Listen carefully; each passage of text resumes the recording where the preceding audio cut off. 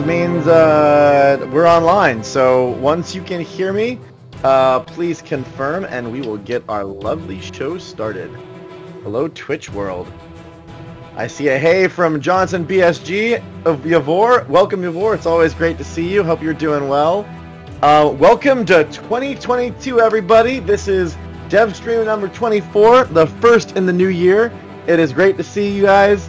Um, I think we're gonna have a fun show today. I have uh, my my normal guest, uh, normal, but doesn't mean not special. Um, Alex, how you doing, Alex? Um, hi, Brad. I'm great. Um, Happy New Year to everyone. And yeah, normal doesn't mean normal. so I apologize for being uh, one or two minutes late. See this background behind me? Our lovely producer Nadine was like, "Your background is a little bit cropped out and a little bit weird, and uh, maybe we should fix the little black bars." And I'm like, "All right, let's try that." But then the aspect ratio is a problem, and I'm just trying to get it right. So now I have this new friend that I can kind of poke at right here because I'm doing a new background roll. Um, but it looks nice and clean and full screen. So apologize for the for the last minute, uh, two minute or three minute delay. Um, it's all my background's fault, but now it works great, so we're all good. Alex, how was your uh, your New Year's and how has 2022 been treating you treating you so far? So far, so great. Uh, we had some uh, uh nice vacation uh, on a mountain uh, resort here. It's between three mountains, so it's a very special place for for the Bulgarians. we all love it. I hate sometimes sometimes myself because I'm not skiing, but uh, we had some fun with the kids uh, with uh, slates and so on. So it was nice. Awesome. That's great. Yeah, I, I, have, I have not been uh, snowboarding or skiing in so long. My, my board sits in my garage and cries because I live in flat Texas and haven't gotten out there. I'm very jealous. Uh, Yavor, you know the way to my heart. Thank you so much for asking about the Braves. I mean, we're, we're I have my uh, my World Series champion balls sitting here on my desk, so I got that going for me. Um, and I have hat stuff galore um, from uh, from the championship. But we're in off season right now, so um, uh, still a few more months before things kick back up and I get to enjoy my obsession again. Uh, but appreciate the ask. Um, everyone, it's great to see you. I think we're going to have a wonderful stream today. We got a lot to go over. Um, it is all multiplayer today, and I know that uh, from the 13 or 14 plus responses on the uh, dev diary, people seem to be very excited about multiplayer, I think, Alex. Yeah, I hope so because um, we are extremely excited. Uh, actually, my um, for me, this game is um, twice the fun on multiplayer. I know that for some people uh, they love the more uh, calm experience in single player. Just um, uh, play one games with their kingdoms, with uh, their um, best uh, pace, so slower games if they want. But I just love the competition, so it's um, I hope that people will also love it. Yeah, I know we've we've shared a couple multiplayer stories here and there throughout our our streaming journey together, but today we get to focus in on it. I think that's gonna be a lot of fun. Um, and yeah, I know multiplayer is something that I think all Knights of Honor fans have craved uh, since they got their first taste of the game back, uh, you know, over a decade and a half ago. Um, and I feel like, uh, you know, obviously in the in the original Knights of Honor there was just kind of that RTS um, you know, kind of like a, a, a, like a battle teaser, right? But bringing, um, actually kind of like taking a completely different direction. Now we're just bringing the metagame and the worldview play to multiplayer, but with a whole bunch of new features and functionality. Um, yeah, I think I think it's really really exciting. So let's um, so last, uh, this is the, the second part, and there may be a third part. Don't know. We're not saying it's part two of two. It's part it's, two yeah, of N. Second. Yeah, um, yeah, there's a lot. lot there's a lot more to talk about. Yeah. Yeah, yeah. Let's let's quickly just kind of give everyone a, a, a reminder. So um, there is, if you haven't read the Dev Diary, by the way, community.knightsofhonor.com. You can read all of our Dev Diaries up there. There's a tremendous amount of content at this point. We've been doing this for a while. And uh, we also have multiplayer part one, which goes through a number of topics. Um, uh, some of those questions you guys may answer if you didn't watch that one, or sorry, that you may ask today if you didn't watch that one. I'll try to go through the super high level. We're designing multiplayer um, to be the world uh, view uh, experience. Um, we do not plan to support um, the RTS uh, gameplay and multiplayer. Um, and there's a lot of reasons for that we talked about in our last stream. Uh, I don't want to go through them again, or I'll spend the whole stream rehashing last stream's content. So really, uh, if you want to uh, see part one, go watch that video or see that stream, or read that dev diary. Uh, we are supporting right now six players. That number could go up. It won't go down. Um, we're still doing some testing and kind of balancing, but the goal is to allow you to play with yourself and a group of friends, not just one other person, and uh, have a, a, lot of fun um, with different experiences in Knights of Honor. So those are the super, super high level stuff that I wanted to just cover um, as, a, as, a, as, a, as a blanket reminder. And again, there is a multiplayer part one. We'll talk about it there. Um, please feel free to consume that content. I'll answer some. I won't be completely you know, dictatorial. You know, I'll, I'll answer a few questions if they come up, but I want to focus on the cool topics we have today, um, which today we're really talking about, and it's super important, but it's all of the, the setup, all the all the options that you have when you're in a multiplayer game. I think that's really the, the, the, the point of today, right? Yeah, um, actually, uh, when you when you make different settings, it's it feels like com- completely different game sometimes. So um, I, I, think that uh, especially for competitive uh, games, and uh, Knights of Honor can be a, a, competitive game, and it can be completely co- cooperative game. Uh, I think uh, both both play types are great. It can be free for all, of course if you want to experience uh, the diplomacy part between players. But uh, yeah, settings make the game very different and uh, they are very important for players who who prefer to play with friends, enemies, or frenemies as they're called. Yeah, yeah, enemies or frenemies. Yeah, I don't know if um, I know that uh, uh, the few times I've played the multiplayer with uh, with uh, with the Knights of Honor team, it seems like I have mostly enemies, not frenemies, because everyone likes to gang up on me for some reason. Um, well, it's hard to be the publisher in the studio, you know. yeah. Isn't that the truth? I will never forget the the famous island invasion of I think that was 2020, 2020 or 2021, or whatever that was. Uh, when I had three of you guys uh, all decide that nah, this uh, this land is our land, not Brad's land. That's for sure. All right. Well, um, there's a question that's coming up in chat already about the starting periods. Um, so I think that's where we actually start off in this stream uh, or in the dev diary. So the um, there are three kind of uh, predefined starting periods that we're offering in the game. Maybe you can go into a little bit of detail about that because I see um, Death BGG already asking that question. So. Yeah, um, so first of all, uh, top level, um, what the periods uh, define is um, the political landscape, uh, what kingdoms do we have in the game, and this uh, has um, uh, impact on a lot of features. Uh, for example, what units um, there will be available in, available in the game, because some of them are specific for some kingdoms or a set of kingdoms. it will define the tension in some regions because um, there are some mixtures of uh, fates and uh, more segmented regions of the map. So uh, it's it's pretty pretty important. probably. Um, we should go through the three different periods uh, separately. Yeah, yeah. I, I, think that'll be interesting for people. Go ahead and, uh, and, and let the cat out of the bag, so to speak. By the way, while you're watching, um, for those that are no wait this way, for those that are looking this way, we are showing a whole bunch of new gameplay footage today. I should have started with that. So uh, the team recorded a whole bunch of cool content while they were playing uh, some multiplayer sessions, and uh, we're going to be rolling that footage and that B-roll throughout the stream. So for those that are uh, regular customers, so to speak, regular fans of the of the show, um, you're going to see a whole bunch of new footage throughout the stream today. So I hope you enjoy that. Go ahead, Alex, please. Let's let's go through the different three regions, uh, three time frames real quick. Yeah, it's a, it's a bit of personal opinion, um, but um, uh, I will mention just the things that I find um, best in the three different periods.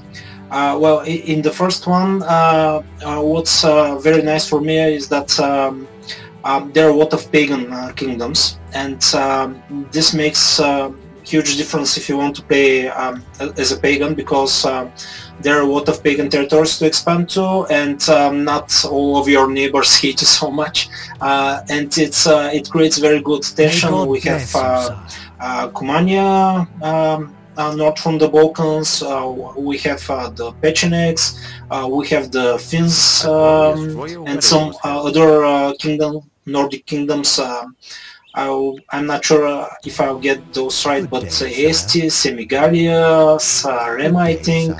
Uh, there are some, there are plentiful uh, pagan kingdoms, and because uh, playing a pagan is pretty cool, um, it's uh, the best period to, to play as one, and you have uh, uh more choice which kingdom to pick. Um, So um, this is probably uh, what what I find best there. Uh, we have uh, some uh, great uh, caliphates and uh, Islamic kingdoms in that period as well. the Almoravids are pretty deep into Spain.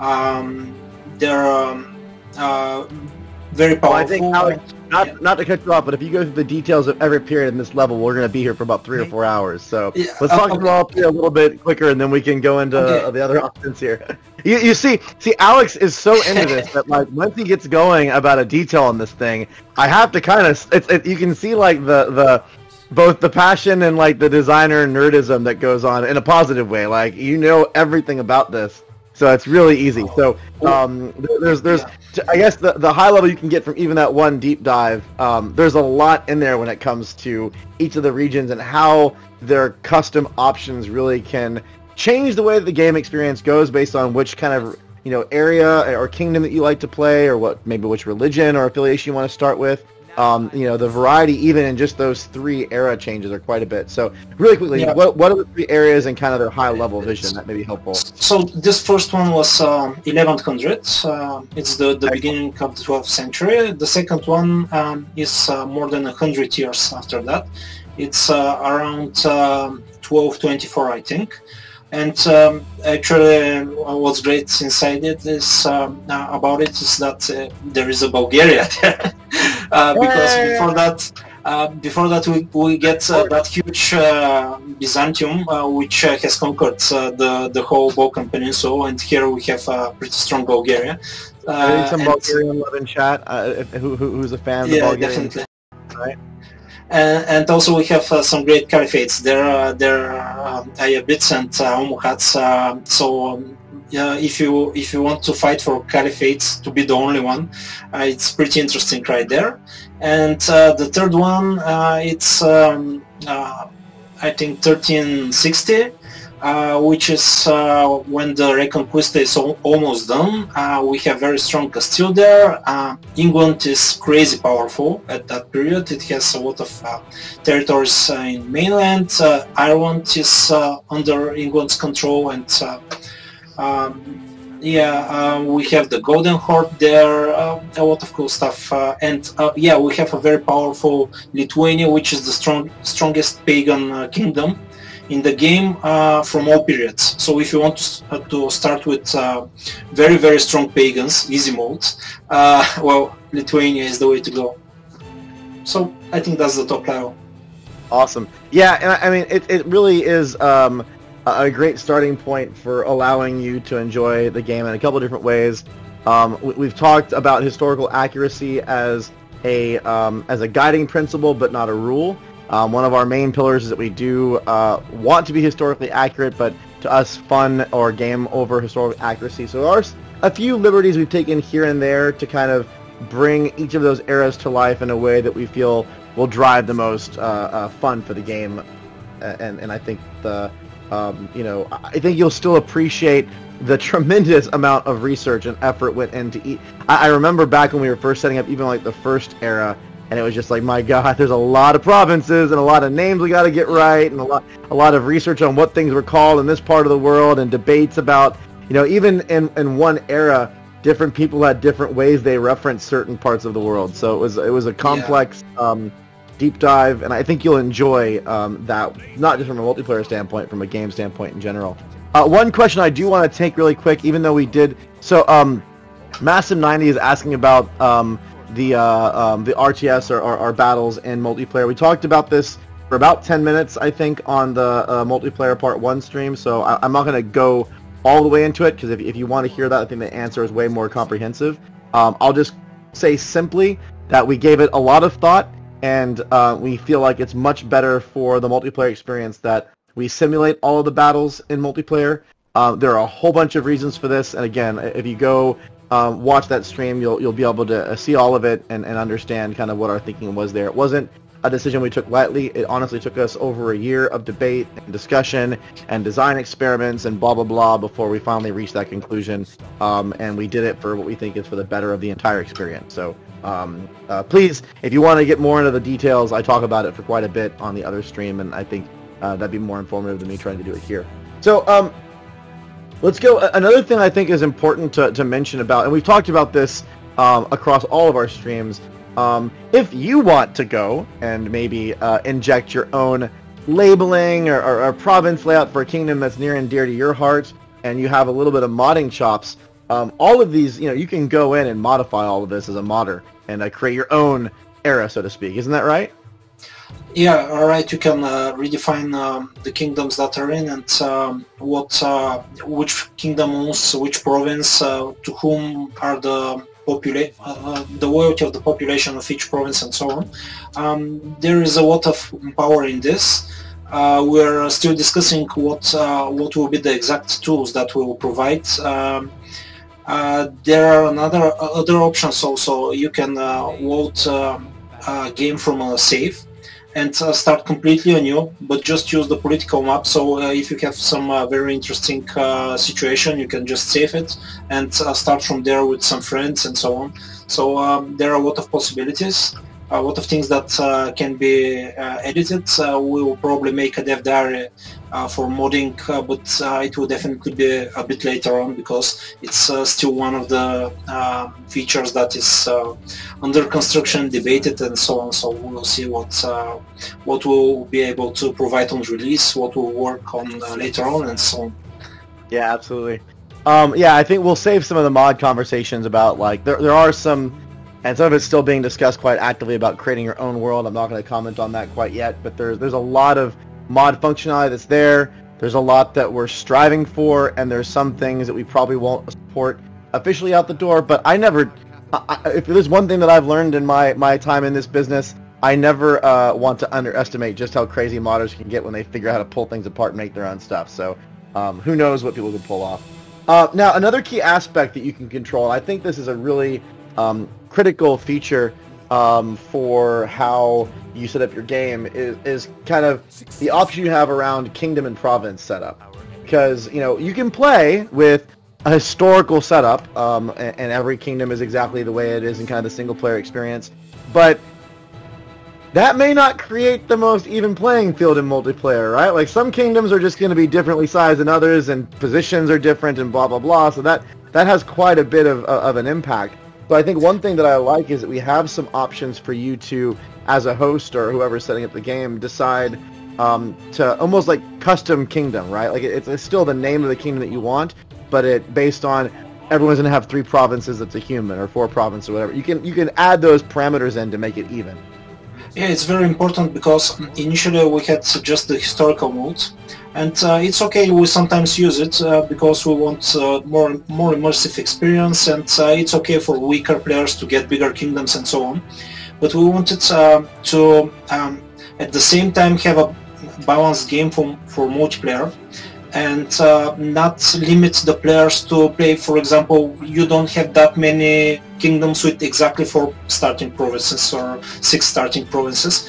Uh, so uh, right now you can just pick uh, a kingdom or not just a kingdom but even a province uh, and uh, that province or kingdom will be shrinked or expanded to the customized to the selected size. it's just an option. everyone can just um, either choose uh, a specific custom size for each player or uh, just uh, start with the historical kingdoms.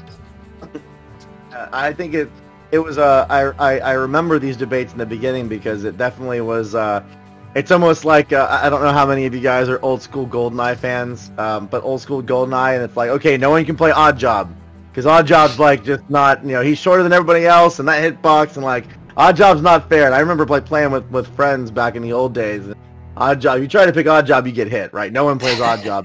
In a way, it's almost the same with uh, you know a, a, variation in the Knights of Honor multiplayer, the Knights of Honor 2 multiplayer, where it's like you can't play that kingdom, like you're going to be so much ahead of everybody else. That's not fair. Uh, yeah, so these yeah. settings kind of allow you to, to to not have that thrown in while still being able to play like Bulgaria if you want. You can play Bulgaria, but then still even out the the um, the, the the size so that you all have kind of a, a, a balanced experience. Yeah, we went a bit further the last few days. It's something very new, and uh, we even removed the patriarchs uh, of uh, autokephalios uh, kingdoms. Uh, so because they are they are very strong, and it's a nice goal of the game to to have a patriarch.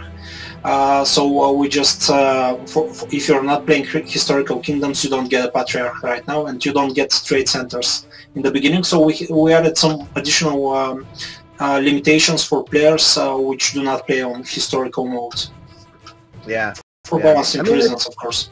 And I'm sure as we continue uh, refining and polishing, there's other things that are going to continue to come up. It's a constant, and, and even after launch, right? Like it's it's uh, sometimes surprising at what elements can really impact um, the progression curves, uh, both from economy, from from diplomatic, because uh, you know, diplomatic uh, pressures are not just isolated to size. It can be position. It can be religion. It can be you know a lot of different things. So yeah. we're still learning uh, that that and trying to you know polish the experience as much as possible.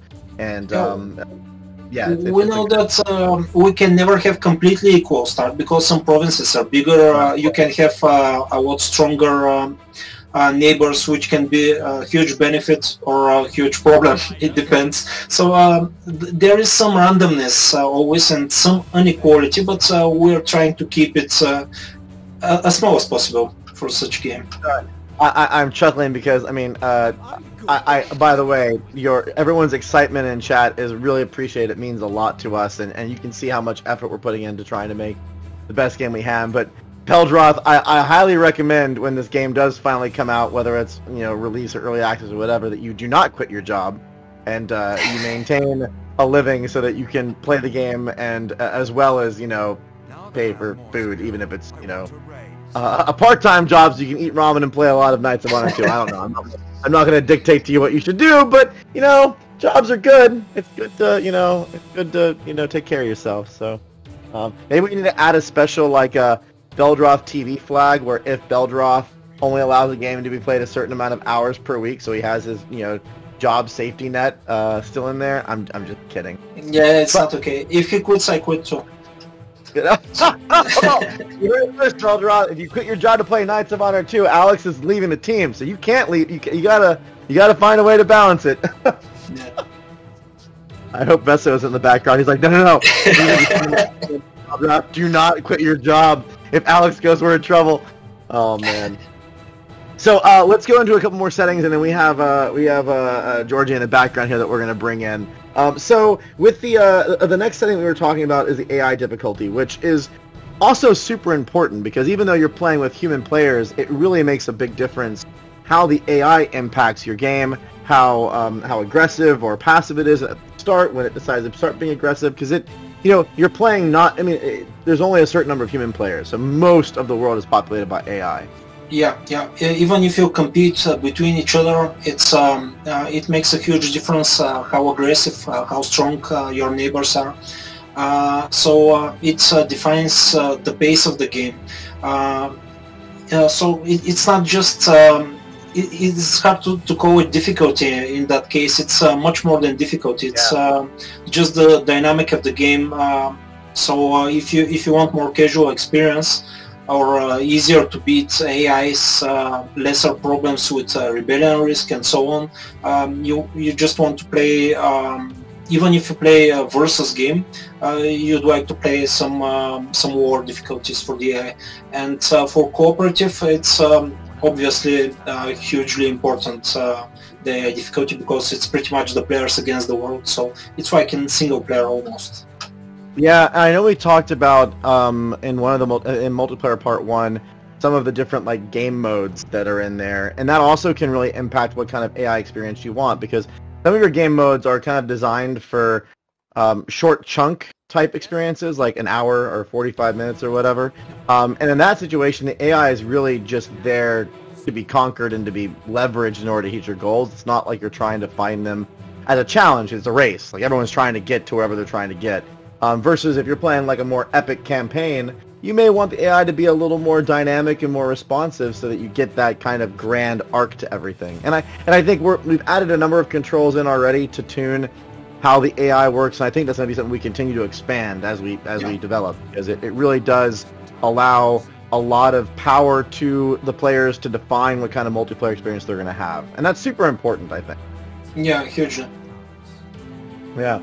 So um, that's I think we're going to go into kind of the the more multiplayer specific settings for a second. We have a lot of questions popping up, so I want to make sure we have enough time for questions. So Alex, so long, farewell for the moment, for a time. See you in a. Yeah, everyone, and, and don't quit.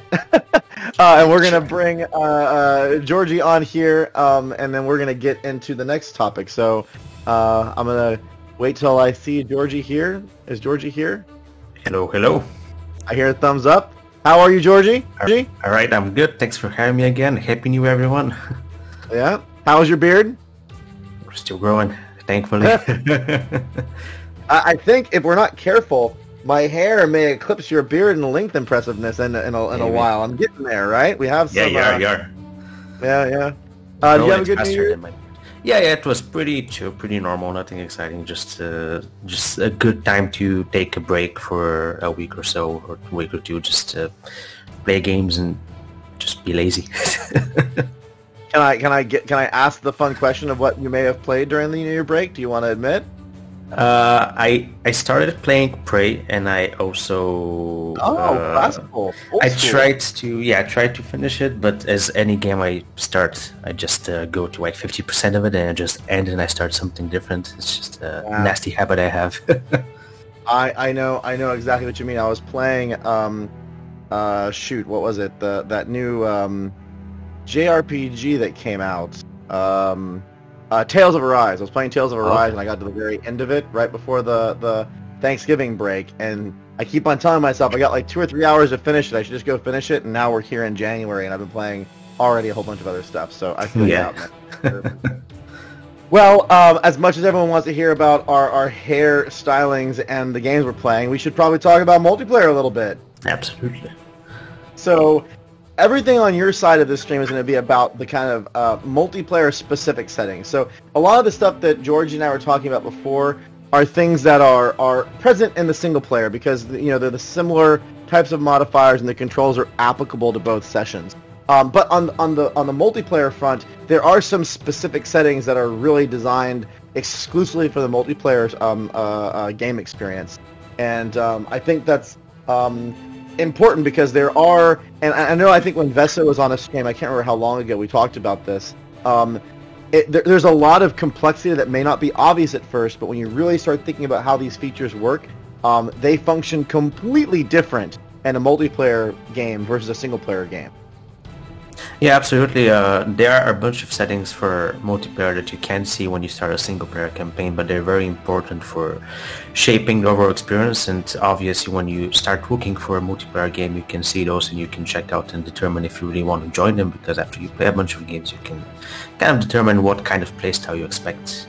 Uh, and we're gonna go uh, deeper into them. For example, wars are really uh, specifically restricted or allowed in games uh, that are multiplayer, also espionage, etc.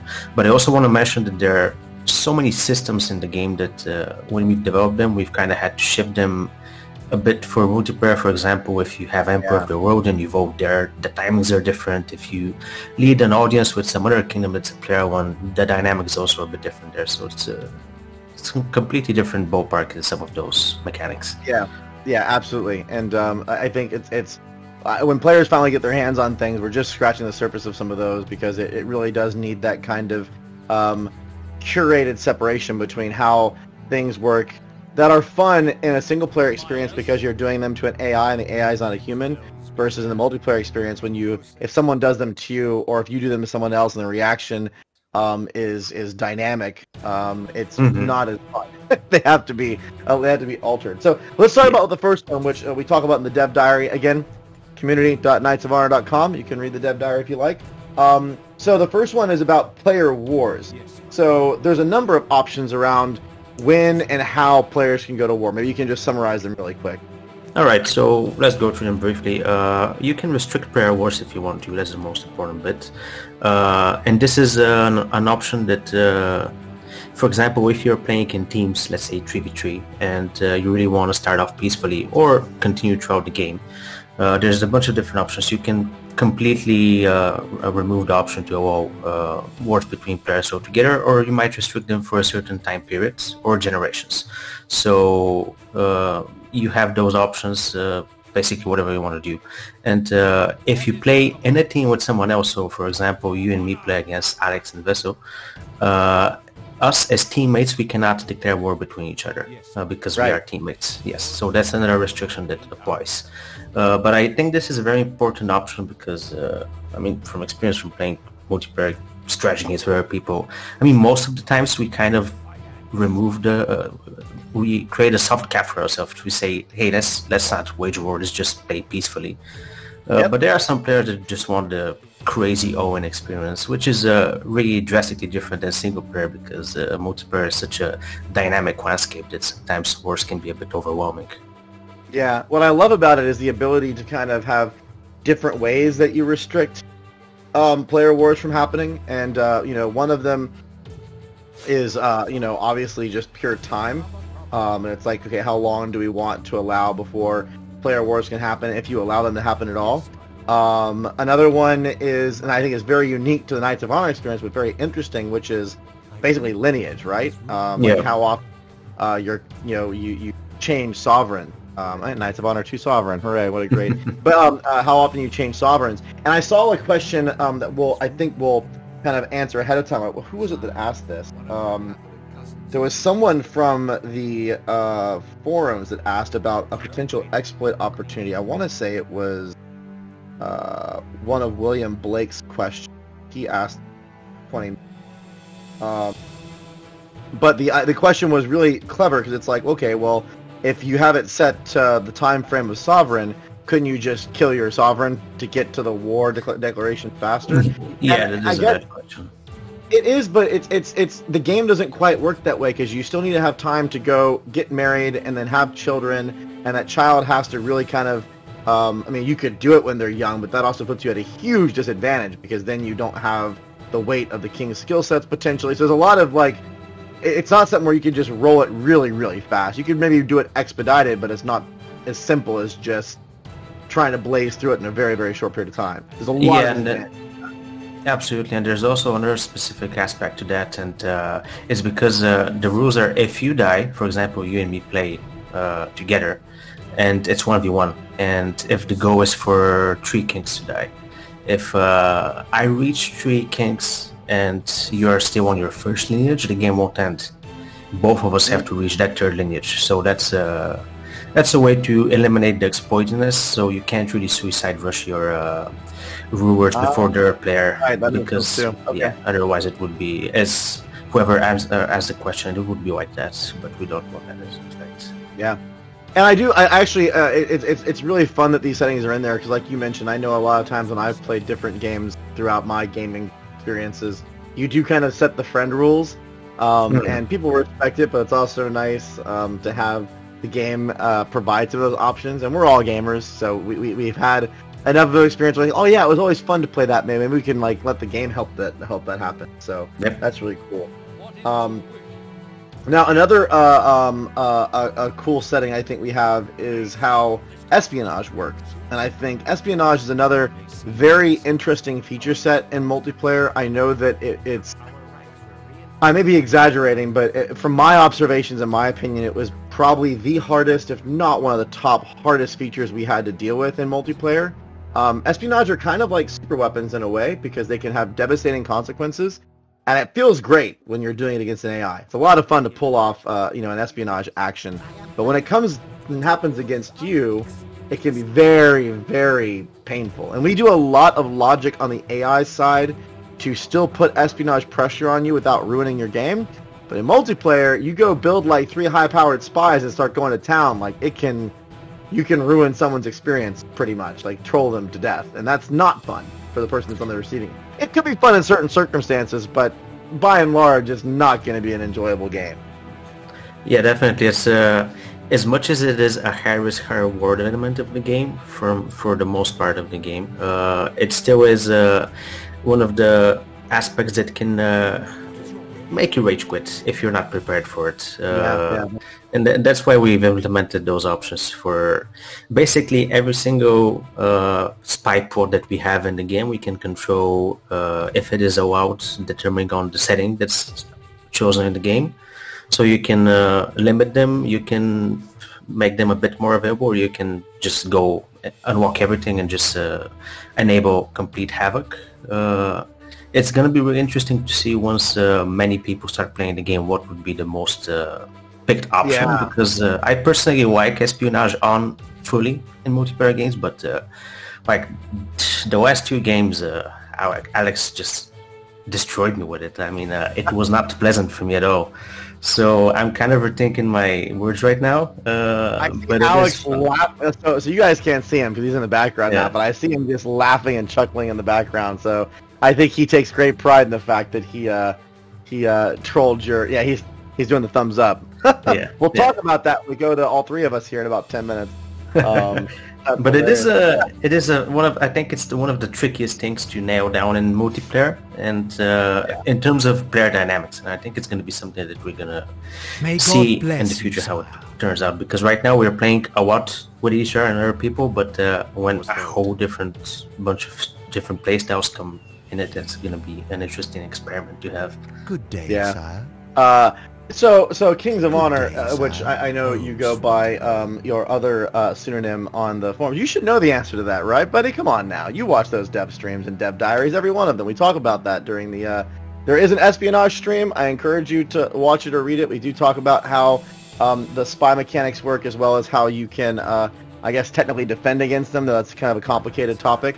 So uh, don't have time to go into it here, um, but we do have an entire hour-long stream and extensive dev diary about the espionage feature set, and uh, uh, we, I think we do um, uh, talk about that there. Yeah, we talk. So I'll, I'll answer it. Why not? So um, uh, there's more details in the stream, but um, it's all good. Uh, basically, there's different um, uh, factors that play into how likely a espionage action can be completed. Some of it is a kingdom power differential between you uh, or the, the, the, the kingdom that's attempting to do the action and the kingdom that's receiving the action. So if there's a larger differential, um, then the success or failure chance is influenced based on you know the person that's doing it or the person that's not. That's not. There is um, some baseline skills for both uh, spies that are at home um, and kind of a defensive stance, as well as your king. Um, and your king's level kind of influences that a little bit when it comes to the level of certain skills he has, maybe. Uh, and there are also elements of like what your king's class is. So if your key is king is a spy, he has some substantial boost to protection. So it's a number of different factors that all combine together to equal the espionage chance uh, success. And then there's also a number of things about like the action itself and what kind of action it is. Some actions have a greater or lesser chance to be defended against depending on this the layout. So it's it's complicated um, on purpose. It's it's designed to be very dynamic as it would be, I think, in that era. So um, uh, I, I believe we go into it for about for a little bit during that stream. Um, but yeah, Yeah. there's there's quite a bit in there. I I, I want to answer the question, but also you know, it's we could meander. We maybe we should do a stream one day where we just sit there and let people ask whatever they want, like almost like an AMA, Yeah. and we just go through all these different topics. Um, Or just Uh, play so- with spies against each other. yeah, then it would just be goat questions the whole time. Yeah. Uh, so uh, yeah, so we have the to clarify from the from the diary. There's kind of right now, I believe there's a number of different knobs, but there's three main ones, which is uh, full espionage actions, which mean all things are valid. Limited, which means I guess all of the superpower type ones, like killing a king or blah blah blah, are removed. Um, and then we have forbidden, which means espionage is not allowed at all against uh, uh, human players. Right? Did I, did I summarize that right? yeah, I think that's pretty much it. Okay. Um. So and you you you you're playing. I guess when Alex trolled you, you were playing full. I'm guessing. Oh yeah, oh yeah, definitely. Yeah, it was cool. I mean, it's it's it's also interesting because most time when you're playing with people, you already have voice chat or you're just uh, throwing in chat, so you, you kind of know who's doing it uh, Sure. most of the time. Most of the time. Um. Yeah. They're they're they're cackling on voice chat while they're watching you. Be like, oh come on, right? Like the reaction you're waiting. You're waiting for it after you send that uh that um you know that spy to go do the the hunting accident for your prince or whatever it may be. Yeah. Um, so the last uh, setting that we talked about in the diary, and I, I really, personally, really, really like this one. It's, it's, it's. I don't want to say it's near and dear to my heart, but it's something I have some personal game experience with in my own uh, strategy game multiplayer playing. Um, is how we handle eliminated players. May God Um, bless and a number you, of sire. strategy games have different ways they deal with this. Um, some don't at all, and some have different options. Day, so maybe you can give the audience um, a real quick, day, uh, um, you know, uh, high level on, on how we what options we provide for eliminated players. Yeah, so option number one is simply no repick. So when you're once you're defeated in any way, that's it, game over. But there's also one, two, or three repicks you can do after you've been defeated. So once you were defeated, you gain the big fancy defeated screen. You have a button that says pick new kingdom. And then there's a list of kingdoms you may pick from, uh, which we are determining based on certain logics uh, we've been implementing. Uh, you cannot, you also can't uh, pick uh, something like the papacy because it's uh, currently uh, forbidden from the regular picking logic. Uh, so those things all come into consideration, but you can continue playing. And uh, it's funny because many different uh, many different moments when I've been starting with let's say one province, and I get defeated by uh, a bunch Alex? of kingdoms. Uh, yeah, maybe. Usually it's just AIs that bunch up on me for some reason. They hate me, uh, and I- I'm just like, all right, I'm just, I'm just gonna pick that kingdom and play with it. I mean, you took my province, I'm gonna pick with my new provinces from the same ones you got from me. So things like that can happen. It's uh, it's uh, once again it depends on the players. Uh, if you really want to be hardcore about it, you can uh, make it so you're eliminated immediately. But I think it's always fun when you're playing with a large group of people, and uh, it makes for longer sessions and uh, more flexible ones. Yeah, yeah. I, I know, and I, I like the fact that we have different slider bars there because I know, um, you know, I, I I played a lot of strategy games in my life, and I played uh, quite a bit of Alpha Centauri multiplayer because I had a friend that used to like doing that with me Hmm. back in the old days. And um, I remember a number of times where you would get past, like the only controls you had was really like a time limit for when you could allow those respawns to take place. I remember a number of games where like that time limit for respawning and redoing a new city would expire, and then he would die, um, or I would die, and the other person was having a great game, and they're like, well, I guess I don't get to keep going. Like I'm having fun, but you got screwed because you made mistakes, and so now the game is over for both of us because you know there's uh, no options. So being able to um, control that, where it's like, no, if you want responding for forever, so that even if they're going to be starting kind of lower off, they can still play. Um, those options are there. I think it's a really compelling slider set of set of controls to add in. Yeah, definitely. One of it's one of those uh, main main aspects of multiplayer we've wanted to really give players control to shape their campaigns. It's up to them, whatever they want to do. Definitely. Also, DJ Isma, I saw you were uh, a little bit late to the stream, but welcome. Always good to see you, man.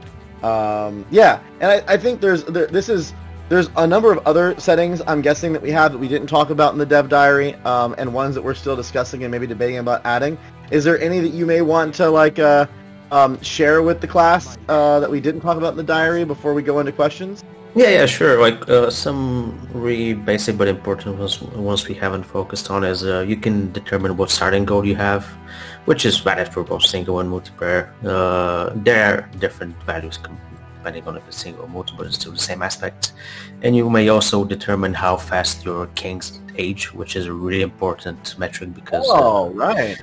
it shapes uh, long term it shapes uh, how it goes for example you may start with a kingdom that uh, if, if you pick historical kingdoms you may start with a kingdom that doesn't have any successors and if you uh, make aging fast it's uh, basically hard mode, hard, hardcore difficulty because you don't have any successors and you gotta find marriage you gotta have time to have children That, that successors clock and so on. You only have a certain amount of time. Yeah.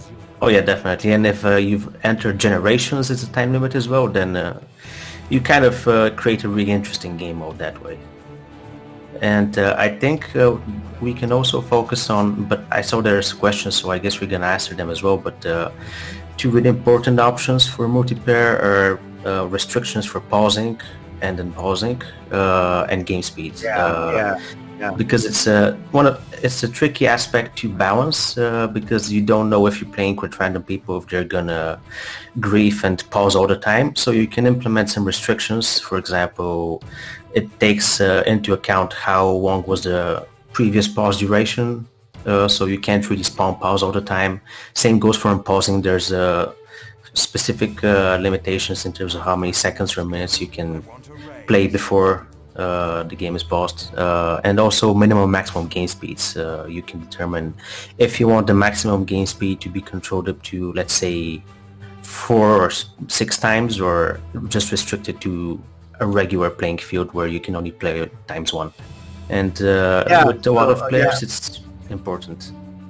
Yeah, so uh, I don't know if William Blake is listening uh, or is on here, but that was a couple of his questions were centered around kind of pausing in game speed. So I think we actually jumped a little bit into the questions uh, Oh, yeah, earlier. yeah. So that's awesome. Sorry. No, that's great. That's great. It, it- it's awesome to cover the questions as we go. Uh, by the way, Yavor, I do have Age of Wonders Planetfall and have played it a little bit. I liked it. A little bit different than Al- I liked Alpha Centauri, well, for a lot of reasons. I'm a big Civ fan, but I love the personalities in Alpha Centauri. I think the the unique personalities of the of, of the faction leads they had were incredible. I hated Deirdre with a burning passion. I often played the Spartans. Um, Morgan was a nuisance. Um, the little brain guy was I can't remember the brain guy's name, but he was always my friend. So I just liked the the personalities and kind of it felt like you're getting to know this cast of kingdoms, and and it was limited enough with enough depth that um, and uniqueness that made it a lot of fun. But Planetfall is great. Uh, I, I've enjoyed that too. So let's go ahead and let's let's let's bring the trio in. Let's get the band back together.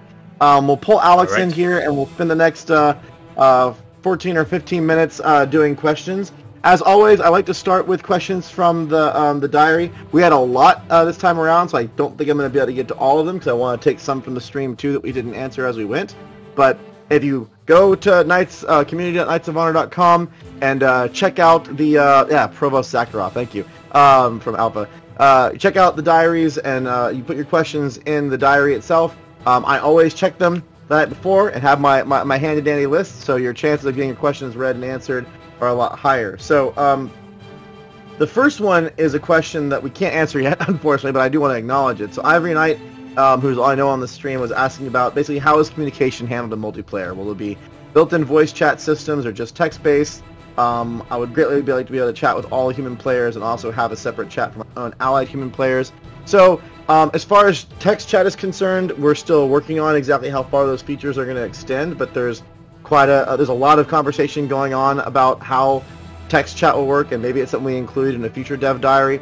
As far as voice is concerned, um, right now we're leaning on the side of not having voice integrated in for multiplayer. Uh, it's maybe something that we revisit depending on how people talk, but um, our read so far is that a lot of people use either Steam voice integration or Discord or whatever when they're playing. Even if you're playing with random, Steam is pretty easy to use. Um, so there's still, again, it's not a closed topic, and there's there's been discussions back and forth. Um, it's always tricky. I, I know me personally, and, and I've talked. We've done polls on this on other projects as well as on um uh, you know that a lot of people use their own voice comms. Right, it's become a kind of standard these days. Um, and I personally know that I always use my own voice comms too. So um, the effort it takes to make that system work seamlessly can be put towards other features, and it often is one thing that's that's removed. But it's not again, it's not a closed topic, and if, if we find enough people really express interest in it, we can we can discuss it. Um, uh, the next question is about uh, um, so Do Vila Legend um, asked. I think we kind of answered this organically, but I'll throw it out there just so we can clarify. Um, will it be possible to set these kind of parameters in single player too, like king, aging, starting gold, etc.? Uh, Alex, why don't you take that one? Um, yeah, uh, these parameters are also included in single player. They are not multiplayer exclusive. Uh, for multiplayer, we have just excluded what's uh, uh, for single player. We have excluded only those that um, does not make sense for single player, obviously. Yep. And we tried to separate out in the dev diary stuff that was multiplayer specific. So hopefully that you know clarifies that the other topics or other settings are definitely exposed in single player as well. Um. So uh, let's see here. Uh, Zerg asked a couple questions about spectator mode. Can you join a game only as a spectator? Can you stay in a game as a spectator after being defeated? Um, I don't believe. Now, remind me if correct me if I'm wrong, but I believe right now we don't have a way to join as a passive spectator. Is that correct? Right now, it's not possible. Um, it was technically possible at what one point, but um, I don't think we're doing it. Um, there um, a lot of ways to stream right now. It's integrated in Steam, so you can always have your buddies watching. Um, we have discussed um, implementing uh, some special um, uh, features for streaming, like um, selecting and checking whatever you want. But uh, right now, um, I don't think that uh, we'll implement this on uh, release. And Yeah, uh, maybe if uh, if the people uh, really want it, uh, we can work on it in in future. Um, uh, another question that he asked, which I think we, we didn't talk about too much, I th- we may have talked about this in multiplayer part one, which is how are pacts between human players handled? Can I defame a friend after he agrees to an alliance but doesn't stand any actual troops Um, I believe we do. T- uh, now I'm remembering we did talk about that in multiplayer uh, part one quite extensively. I um, there was a whole section about um, you know how that impacts other kingdoms' opinions of you, um, different impacts of breaking or keeping alliances. So um, uh, I would encourage you for that question to go check out the Dev Diary uh, multiplayer part one, uh, just so we can stay on t- questions that are a little bit newer. But yeah, there's there's a number of different things you can do a lot, um, but there are consequences of doing those things. Um, and, uh, it depends on how you want to deal with those consequences if you decide to screw your friends over.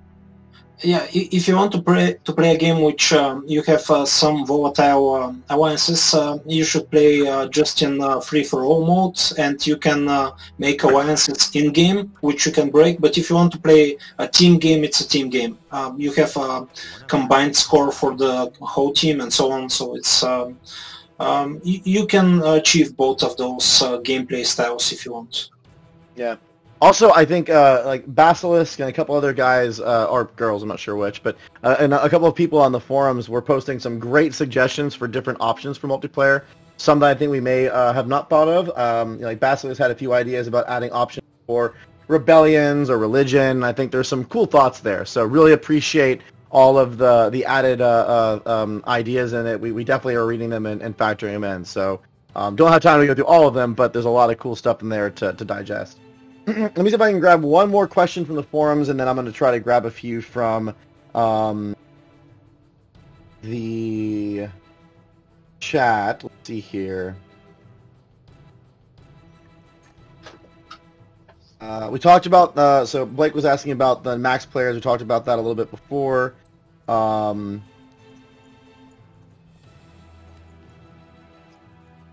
So I think we can ask. We'll, we'll ask answer this one. So Johnson was uh, um, was said. You know, Johnson, by the way, said was a lurker in one of his first questions. So uh, really awesome that. Uh, oh, my mic is uh, acting weird. Sorry about that. Um, uh, was asking though, are there already diseases like plague and famine or natural das- disasters like volcano eruptions, strong winter in the game, which affect gameplay?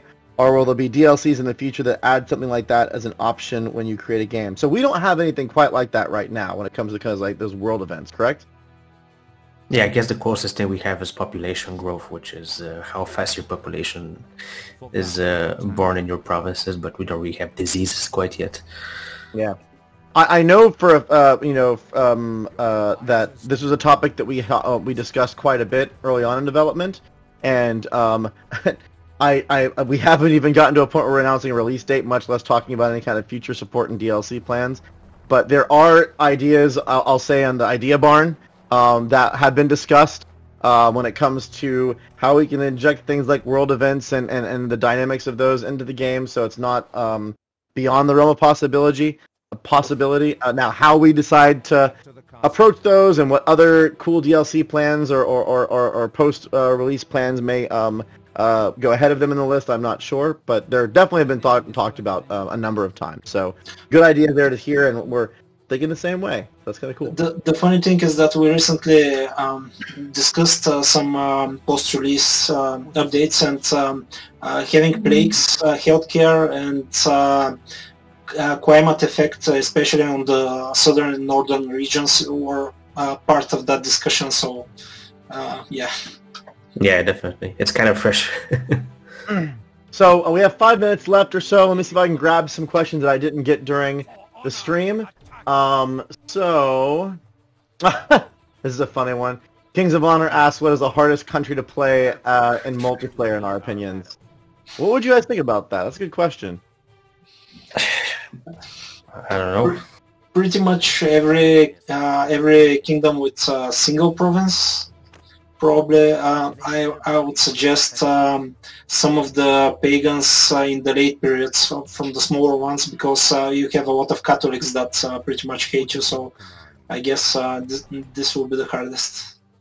Yeah. Yeah. I guess it also depends where you spawn compared to the players and what game mode you're playing on. If it's free for all and you're all together, it's a bit of a uh, Owen scenario. Yeah. Um, yeah, I mean it's always tough too. It all depends on your playstyle as well. I actually find playing large kingdoms also very challenging at the start because you get a lot more aggressive neighbors um, at the very very beginning, And uh, even in, in, single player, that can be a, its own unique challenge. But in multiplayer, that's a whole different level of weight because you don't have time to kind of optimize your kingdom in the beginning because you're in pressure right away.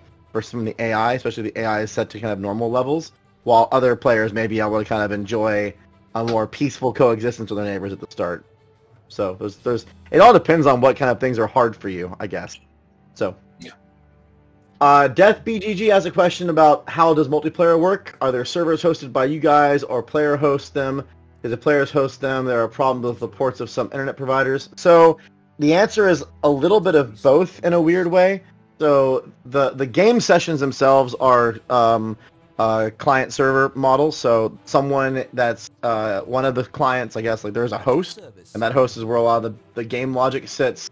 Um, and we are doing quite a bit of work to handle things like um, NAT, you know, network traversal, and um, other uh, types of challenges with ports and, and, testing. So that should be relatively um, uh, flexible. Obviously, there are some ISPs that have unique issues, and you know, um, we should have most of them handled, but we'll we'll react to those as they come up. There are also some elements of the multiplayer system that are tied to a light backend that we're hosting, and I'm not going to go into too much of the technical details. It's not really related to the actual moment-to-moment gameplay experience itself, but there are, there is some data that's going back and forth um, that is valuable to how we um, uh, know about session information, and allow you to rejoin a session, et cetera, et cetera. Um, so it's it's it's kind of a there's elements of both types of systems in there, but it's primarily client server where you're hosting um, the the the host yourself. Uh, Sanders City Four asks, "Can you have an unlimited length multiplayer campaign?" I mean, absolutely, right? Yeah, yeah. Time limit is just an option. You can you can do a challenge where one person paints the entire world, and then the other person has to try to paint it back. I mean, there's all sorts of crazy things you could do. Uh, let's see here. So this is an interesting question um, that Yavor asked that I want to take earlier. I think it's a cool one. So uh, more general than it is about Knights of Honor specifically, but I think it's cool. So Yavor984 asked, by the way, Yavor, always good to see you. Um, I want to ask something as a non-developer. How hard is it to fix something in the game after launch?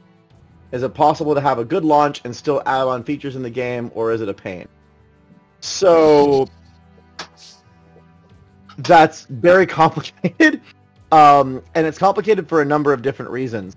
Um, it's it's uh, when it comes to fixing things like bugs or quality of life improvements, um, it kind of, de- I mean, bugs are often as straightforward as they would be in fixing them in development, uh, depending on what kind of bug it is. And uh, those can be fast or uh, slow, depending on how complex it is for repro cases. Like, is it a random issue?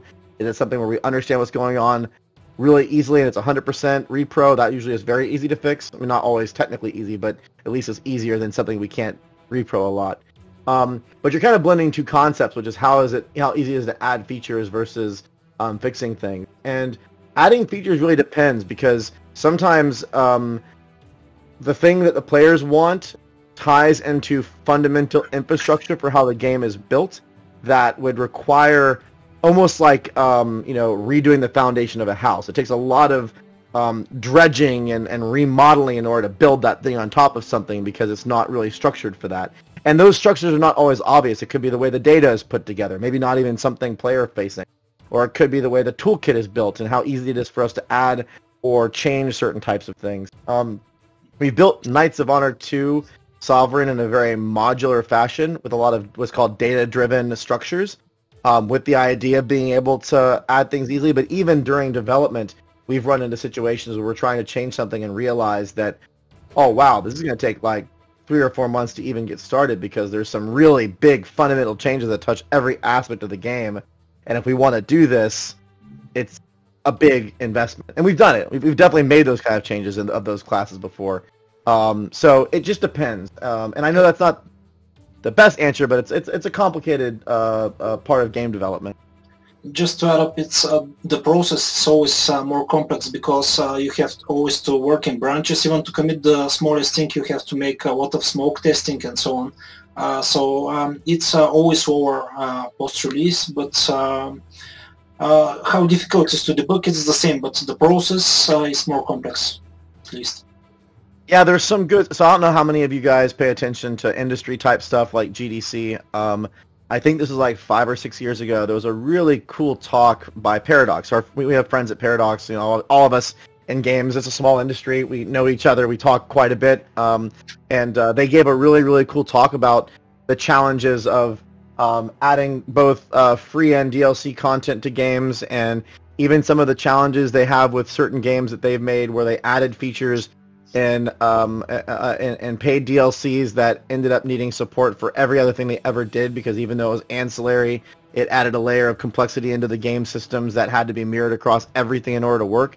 So it's it's it, it can be very very complicated even in trying to add something so you can think through it and understand the implications for future future development and and uh, and features. So um, it's a really cool concept and idea to talk about. Um, uh, you know, I, my background, I've, I've worked on um, live as a service games before, so I have a lot of experience in this area um, because those are the worst of this. They're the most complicated.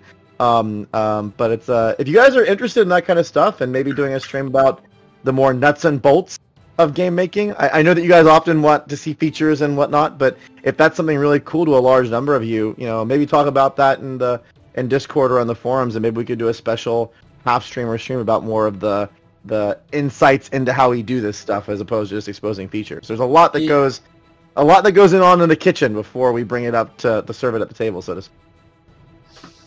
Do you want to say something, Alex? No, no. I, I was previously working in the mobile and uh, web games uh, uh, section of the industry, so um, there's a lot uh, we can share about um, live development and uh, development when you have uh, persistent data. You can just it's not just uh, starting a new game. You, you have to make it uh, backwards compatible with each update. So it's it's a nightmare. yeah. Yeah, yeah, for sure. Um, I'm gonna just answer this one again because it always comes up, and it'll be my last question I answer. We aren't talking about release date yet. I know everyone's gonna ask every stream. It's absolutely fine. I don't mind it. I've been being asked it for 24 streams now. It's all good. Um, but no, we're not. Re- you'll know because we'll say it. Um, we're not ready to uh, talk about release date quite yet. But I promise you, when we will, we will scream it from the mountaintops with cool content and and big information. Um, uh, the game is coming along, and as you can see from the videos, a lot more polish, but there's still a lot of stuff we're doing, and uh, we want to make sure, like we've said from the very beginning, um, obviously, you know, we try to do the best we can uh, to make the best Knights of Honor 2 version we can. Um, and uh, whether we get it right or not, you'll have to tell us when we release the thing, but we're doing our best to give it the time it needs to become the greatest version it can. So um, once we feel like we have that, then uh, we'll we'll get into more details about release timelines and potentially new betas or whatever. Um, so uh, I, I, I know uh, as a fan of myself uh, of games, I know how eager uh, everyone gets to know, um, and definitely respect that. And um, hopefully sometime we'll, we'll be able to share that with. Alex and Georgi, uh, as always, great to have you guys on.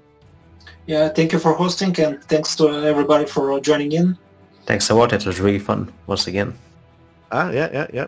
And um, it's uh, it's great to be in 2022, fresh January month. Um, and uh, hope everyone stays safe out there. I know that there's a lot going on with uh, um, all the COVID stuff, so uh, take care of yourselves. Um, it's great to have you on.